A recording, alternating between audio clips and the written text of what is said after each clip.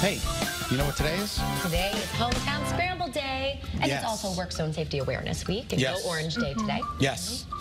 And this week is National School Library Week. Ah. Nicole will explain the rules. All right, here's how we play Hometown Scramble here. We're scrambling up three cities, towns, villages, or hamlets around our beautiful state, and your job at home is to let us know your answers by Xing, tweeting, I don't even know what the term is now, on at WFSB Morning Team. That's our handle. Mm-hmm. So if you answer correctly all three, and you if you haven't won before, you win a t-shirt. But if you have won before, Let us please know. let us know, and please play along. We love the alum coming in. Okay, Wednesday is School Librarian Day, but I couldn't spell it with town names. Please give a shout out to Jillian Wachowski of West Haven High School. I will, Diane.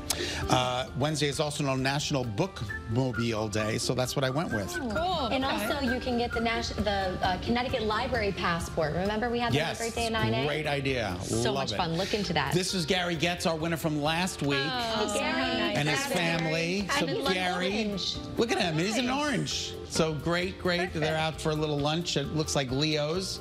We appreciate that, Gary. Congratulations. Congrats. All right, here we go.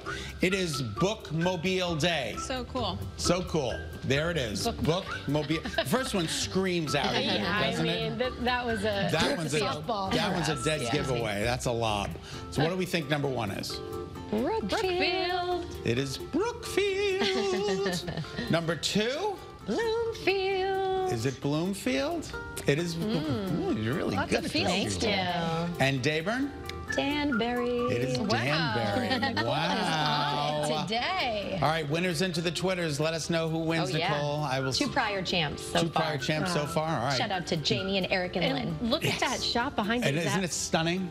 It Is is it absolutely stunning. That is Middletown. Yeah, beautiful. Good morning.